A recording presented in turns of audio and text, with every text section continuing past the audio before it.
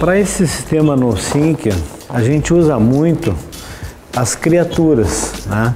São iscas de silicones feitas de diversas formas. Nós temos rabinhos, né? Nós temos estilos caranguejo. Enfim, elas na realidade imitam os, os bichos que estão na natureza, né? O alimento do black bass que está na natureza. Todas elas são muito eficientes.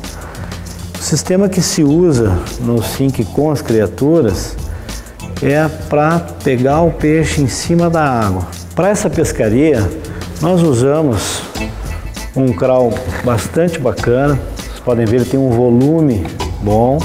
É uma isca que tem um afundamento lento, muito eficiente. Pegamos vários peixes com ela. Para iscar ela é muito simples, ó. Faz a colocação aqui na frente, sai aqui em meio centímetro, faz a voltinha no anzol, coloca na altura da volta do anzol aqui, já está com ela escada.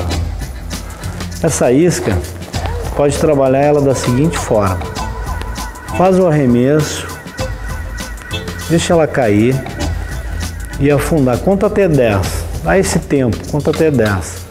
Aí tu dá uma carregada na vara, dá uma puxada, faz ela levantar, ela vai fazer um trabalho de levantar e vai descer novamente. Esse, esse é o, o modo correto de trabalhar ela, bem lento e sempre com atenção. O Bess pode colocá-la na boca, então tem que estar atento a isso. Colocou na boca, deixou levar e ferra o peixe.